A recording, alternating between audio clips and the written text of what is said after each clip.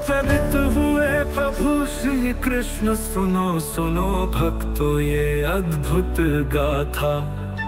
कंस के कारावास में जन्मे यशोदा नंदन जग में आई एक नई प्रभात।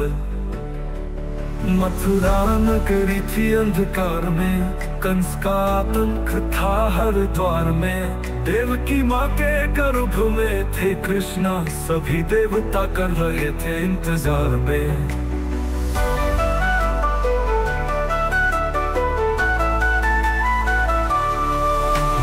अष्टमी की रात थी घोर अंधियारी, जन्म हुआ जब मुरली थर प्यारे का। ज्योति फैल गई और हर्ष हुआ, मुकुंद का जन्म था इस संसार में। देवकी के आचल में था लालन, वसुदेव के हाथों में थी मुस्कान।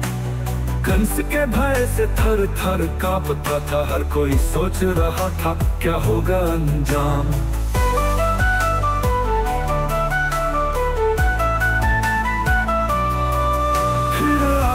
आकाशवाणी का संदेश, ले जाओ इसे नंद के द्वार। यमुना की धारा भी हो गई शांत कन्हैया के जन्म से खुश था संसार।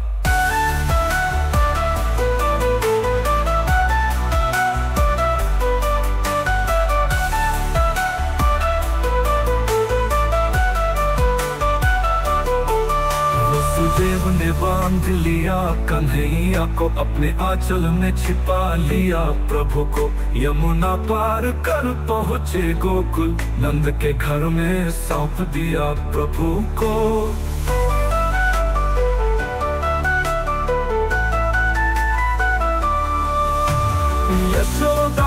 के आंचल में पले गोपाल ने धरती को किया पावन। माखन चोरी को पियो संग रस रचाया।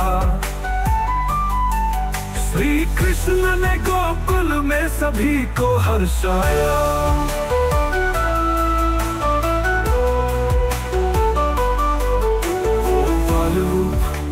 मुरली की धुन हर कोई झूम उठा रास में। नन्हे कान्हा के लीलाओं की कथा। सुन सुन, हर भक्त हो गया दीवाना। कंस का अंत करने को आए। कृष्ण ने अपने लीला को रचाया। मटकी फोड़ी मक्खन चुराया। हर गोपी का मन मोह लिया। बाल लीला में ही बसा संसार। कृष्णा ने सबका किया उद्धार। माया यशोदा ने देखा प्रभु का विरट रूप। जब उन्होंने मुख खोला अपने बाल रूप में, नंदलाल ने जग को दिखाया। प्रेम और भक्ति का असली अर्थ, दुष्टों का संहार धर्म की स्थापना। यही था उनका जीवन का लक्ष्य। कंस ने भेजा अनेकों असुर सभी को श्री कृष्ण ने किया संहार। बाल कृष्ण ने दिखाया अपनी महिमा। हर कोई झूम उठा उनकी लीला पर।